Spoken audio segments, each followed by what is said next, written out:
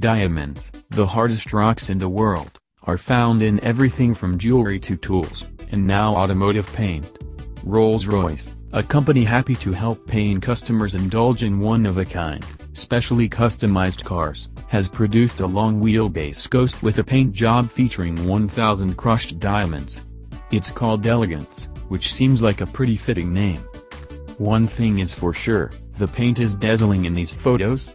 So the two months Rolls-Royce spent testing diamond paint finishes seem to have paid off.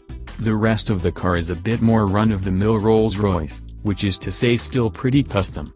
It has hand-painted coach lines in red and black along the flanks, and the 21-inch wheels have matching red pinstripes.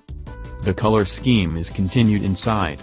Up front, everything is black, from the leather seats to the wool carpets. The sea of black is punctuated by red stitching and piping on the seats, as well as open-pore oakwood trim on the dash.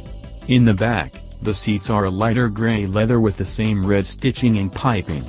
Our favorite part, though, is the plaid upholstery that lines the space in the front seats into which the rear tray tables fold. The car will be on display at the Geneva Motor Show alongside a few other older Rolls-Royce bespoke models,